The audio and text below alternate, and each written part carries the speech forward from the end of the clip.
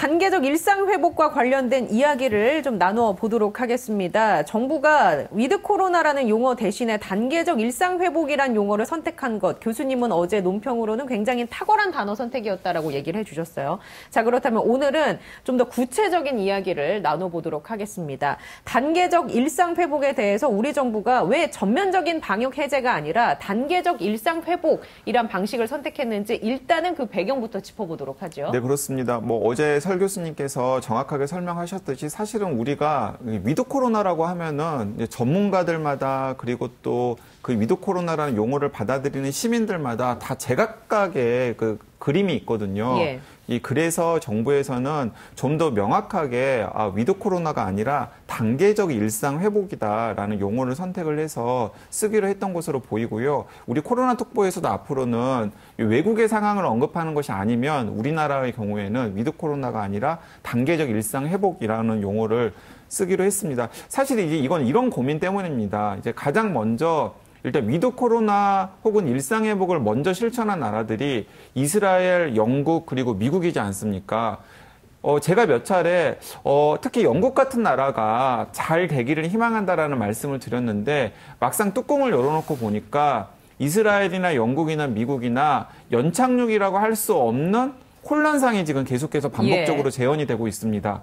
자, 이런 상황을 염두에 두고서 우리나라에서는 아, 일상 회복을 하더라도 저런 식으로 전면적 일상 회복을 했을 때에는 이스라엘, 영국, 미국 혹은 그 이상의 혼란이 불가피하겠다라고 하는 인식을 방역 당국이나 혹은 방역 당국에 자문하는 전문가들이 같이 하고 있는 것으로 보입니다. 예. 자, 이런 식으로 생각을 한번 해볼 수 있겠습니다.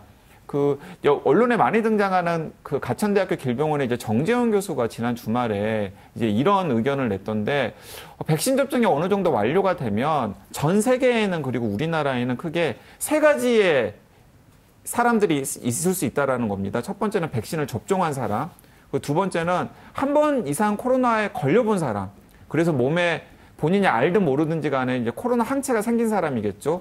그리고 세 번째 같은 경우는 백신도 접종하지 않았고 코로나에도 걸려본 적이 없는 사람. 이 세 가지 부류의 사람이 있을 수 있다라는 겁니다.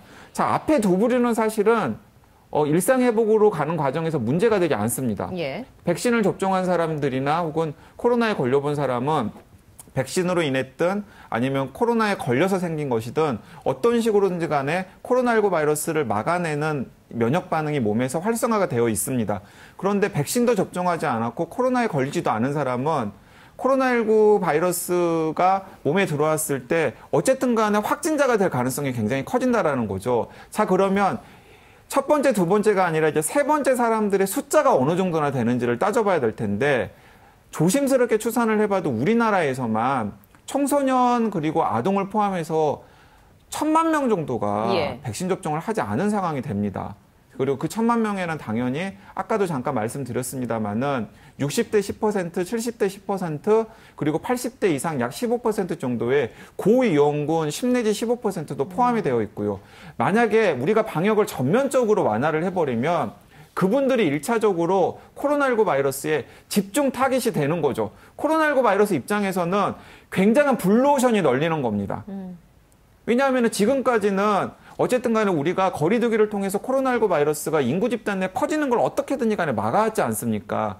그런데 전면적으로 우리가 방역을 풀어버리면 백신 맞은 사람들이나 코로나19에 한번 걸린 사람들은 문제가 없는데 이 두 가지가 다 있지 않아서 백신도 안 맞고 코로나19에 걸리지도 않은 사람들 같은 경우에는 무방비 상태에서 바이러스에 노출되는 상황이 되는 것이고 그 사람들 중에는 분명히 60대, 70대, 80대 이상의 고위험군이나 혹은 50대 이하 중에서도 건강에 안 좋은 고위험군들 그리고 청소년들이나 아동들 중에서도 코로나19에 취약한 고위험군들 같은 경우에는 문제가 될 수 있고요.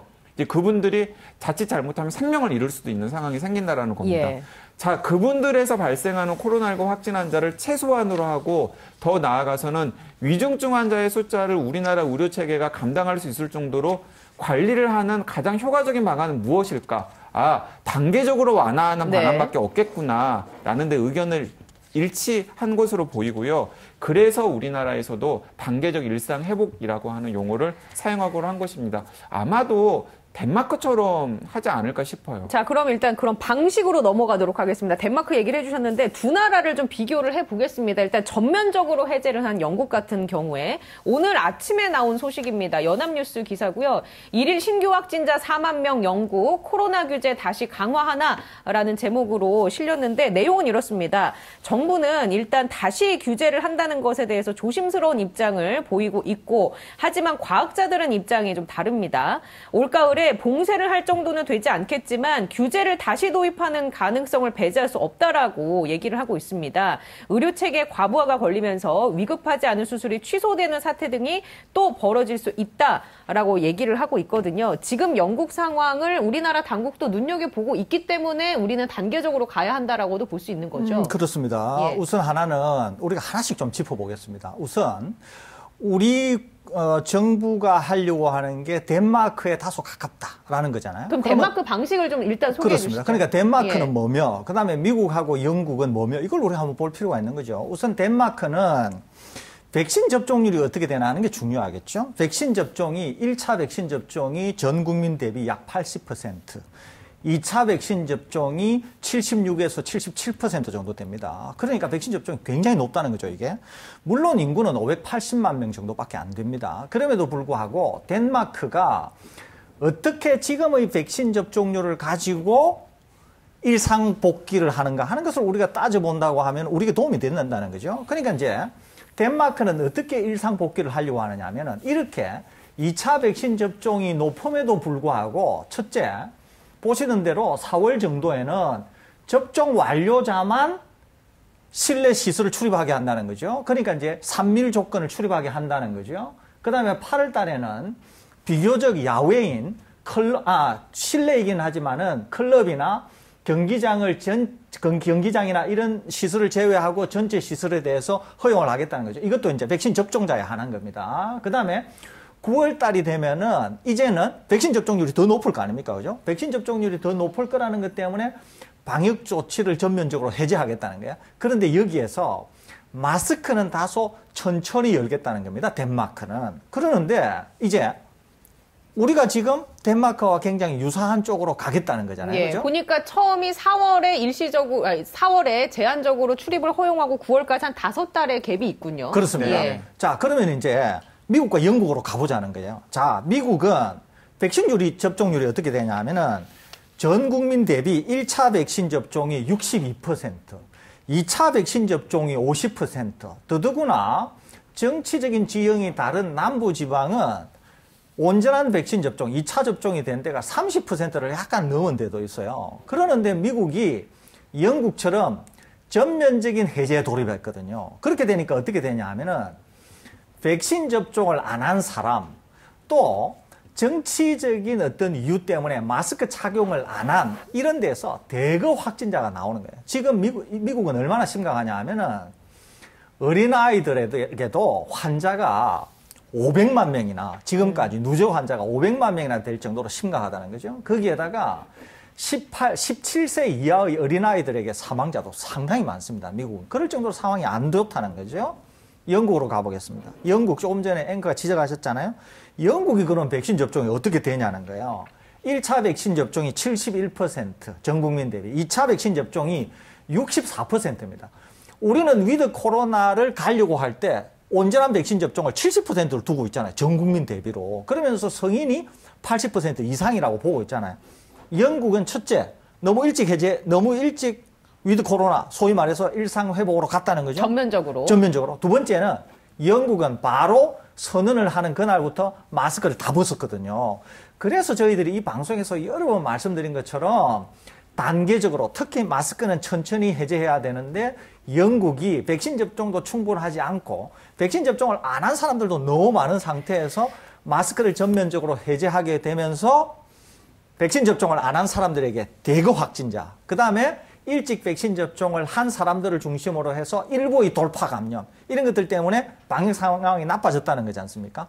우리 당국은 이런 것들을 다 종합하고 있다는 거죠. 그래서 우리 당국은, 아, 영국, 미국, 덴마크, 이스라엘 상황을 다 보니까, 첫째, 절대로 한꺼번에 소위 말해서 일상회복을 가서는 안 된다. 그래서 단계적으로 가야 된다. 우리 당국도 뭐라고 얘기하느냐 하면 저희들 방송에서 여러 번 지적해드린 것처럼 마스크는 최대한 천천히 해제해야 된다. 이런 입장을 가지고 있는 거죠. 예. 물론 단계적이라고 할 때 단계 각각에서 어떤 것을 어떻게 할 거냐 하는 건 아직 정한 바가 없습니다. 그리고 아직 발표한 적도 없습니다. 그럼에도 불구하고 지금 덴마크가 보여주고 있는 형태 이런 식으로 우리는 다소 완만한 형태로 단계적 일상 회복을 하지 않을까 이렇게 전망해 봅니다. 백신 접종 초기에는 영국이 백신 접종 모범국으로 꼽혔잖아요. 그런데 지금 시간이 지난 지금은 위드 코로나를 선언할 정도로 백신 접종률이 충분하지 않다고 보시는 근데 건가요? 사실은 영국 예. 영국은 조금 상황이 복잡하긴 합니다. 그러니까 네. 우리나라랑 단순 비교하기에는 좀 어려운 측면이 있어요. 왜 어려운 측면이 있냐면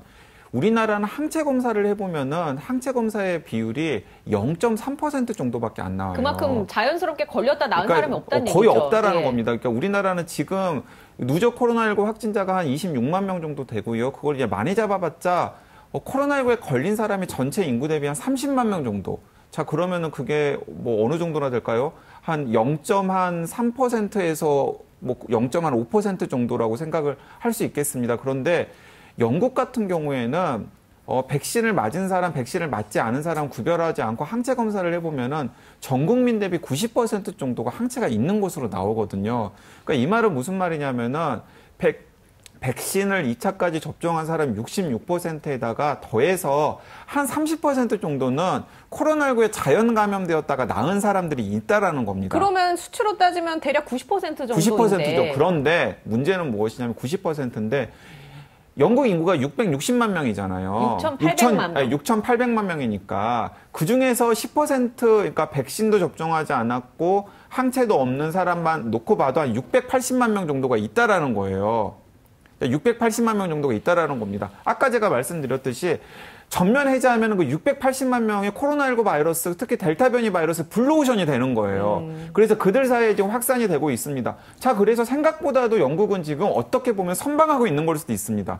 680만 명 사이에서 바이러스를 계속 주고받고 있는데 어쨌든 간에 확진 환자 숫자는 지금 4만 명 수준까지 나오고 있지만은 사망자는 과거에 5만 명, 6만 명 하루 확진자가 나올 때 수천 명 수준까지 사망자가 늘어났던 것과 비교하면은 여전히 사망자는 100명 정도거든요. 그것은 무엇이냐면은 영국에서는 백신을 접종했거나 코로나19 바이러스에 걸려서 항체를 가진 사람들의 비율이 한 90% 정도 되는 예. 데다가 더군다나 60대 이상의 고령자 같은 경우에는 90% 정도가 또 백신을 접종하고 있기 때문에 위중증 환자나 사망자는 100명 정도, 하루 100명 정도 선에서 방어가 되고 있다라는 겁니다. 근데 뭐 사망자가 200명이 나오기도 합니다. 요새 보면은. 근데 어쨌든 그거는 이제 일시적인 걸 수도 있고 제가 궁금한 건 이겁니다. 그 얘기는 다시 하면 90% 정도는 이미 항체가 있는데 10% 정도가 항체가 없단 말이에요. 자연 면역도 없고 접종을 하지도 않아서 그러면 우리나라로 돌아와 보면 이런 지금 영국이 겪고 있는 이 비슷한 어려움을 우리나라도 단계를 해제하고 방역을 완화하면 이런 비슷한 어려움을 겪을 가능성이 있을까요? 아, 우선 영국 사례를 보면서 다시 한국으로 오겠습니다. 제가 한 가지 말씀드리겠습니다. 영국이 완전한 봉쇄 해제를 하기 전까지 영국이 백신 접종률을 높이면서 상황이 굉장히 좋아진 모범국이었습니다. 그 당시만 하더라도 많은 국가들이 영국을 상당히 주시했었죠. 그러는데 영국이 자, 백신 접종률을 높이면서 뭘 했냐 하면 마스크 착용을 계속 했다는 거죠. 그러는데 영국이 소위 말해서 위드 코로나를 선언하면서 봉쇄 해제를 하면 뭘부터 했냐 하면 마스크 전면 해제를 했거든요. 그러니까 자, 이해가 되시죠?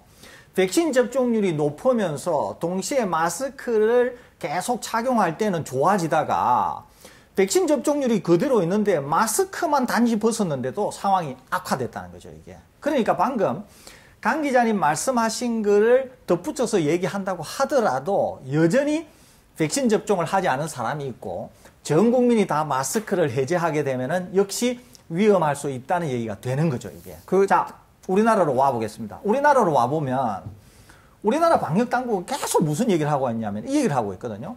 마스크는 끝까지 천천히 해제하겠다고 하는 거예요.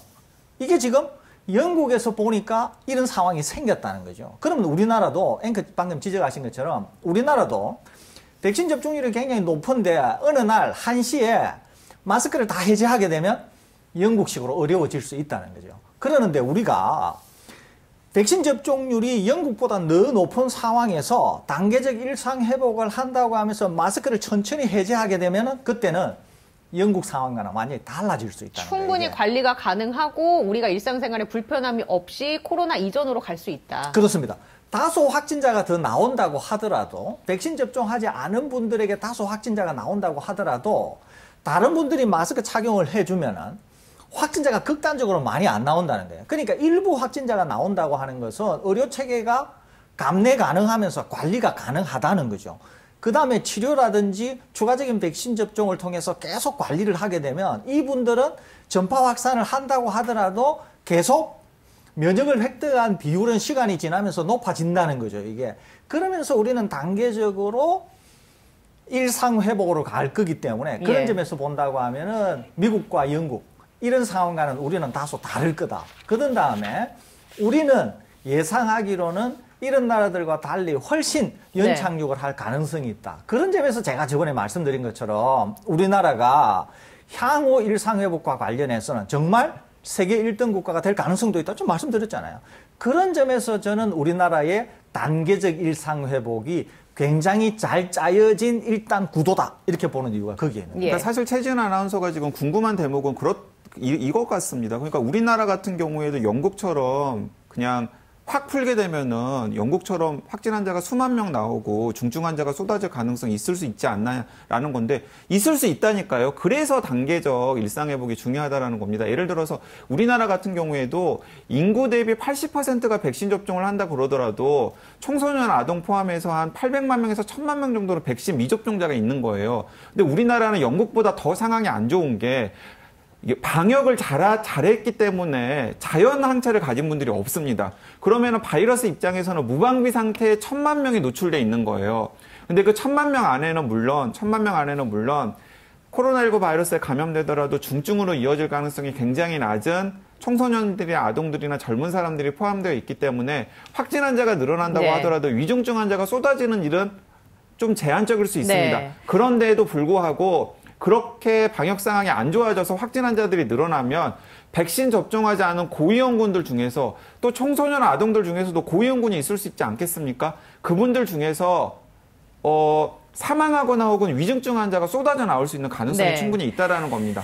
자 그런 상황을 대비하기 위해서 우리나라에서는 어 이건 불- 단계적으로 일상으로 회복하는 게 불가피하지 않냐라고 하는 공감대가 마련된 것으로 보입니다. 그 우리나라는 이 미국이나 영국처럼 될 가능성이 없다라고 저는 봅니다. 걱정이 크지 않은 게 또 이것 때문인데요. 단계적 일상 회복에 대해서 여론조사를 했습니다. 그랬더니 국민 10명 가운데 7명이 찬성을 했고요. 그리고 그 시기에 대해서는 11월 말이 적합하다라는 결과가 나왔거든요. 이 이야기는 해석을 해보면 우리나라 국민들은 방역에 굉장히 신경을 많이 쓰고 있고, 그렇습니다. 예, 시기적으로도 서두를 필요가 없다라고 생각하시는 거 아니겠습니까? 정부는 예. 10월부터 이제 단계적 일상 회복을 얘기하는데 정작 국민들께서는 한 달 뒤 11월부터 말씀하시니까 네. 우리 국민들께서는 뭐 굉장히 시민 의식이나 기본적으로 방역에 대한 어떤 자세 이런 것들이 다른 선진국과는 완전히 다르다 이렇게 볼 수 있는 것이죠. 그 사실 그 단계적 방안에 대한 이제 구체적인 아이디어도 제가 몇 가지 가지고 있는데 그건 내일 말씀을 드리겠고요. 예. 한 가지만 덧붙이면